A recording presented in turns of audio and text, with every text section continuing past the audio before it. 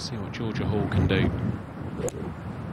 Elite female sports players back live on our TVs for the first time since the pandemic interrupted. The world's best women golfers are competing in the Open at Royal Troon. Finally, women's sport taking centre stage after coronavirus catapulted it into the rough.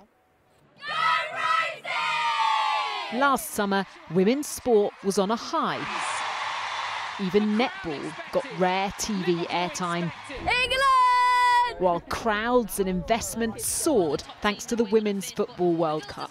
But unlike the men's game, no elite women's football's been played in England since March. So, how long might it take to rebuild the momentum?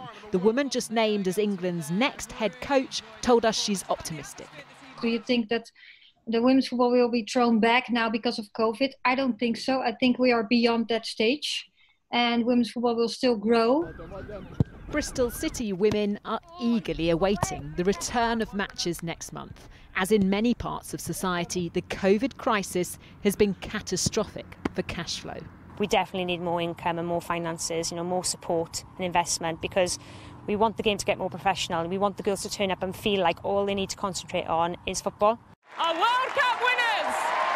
England's women cricketers won the World Cup before the men managed it. But a report by MPs accuses the government of neglecting women's sport during lockdown, warning the lack of visibility this summer risks reducing funding and participation. But Dame Heather Rabbatts, who's involved in negotiating broadcast deals for women's sport, is confident. I think it potentially can come back stronger. This is a first time opportunity for many of the women's sports to gain a media rights position in the marketplace they have never had before. I do think there is real hope for the future.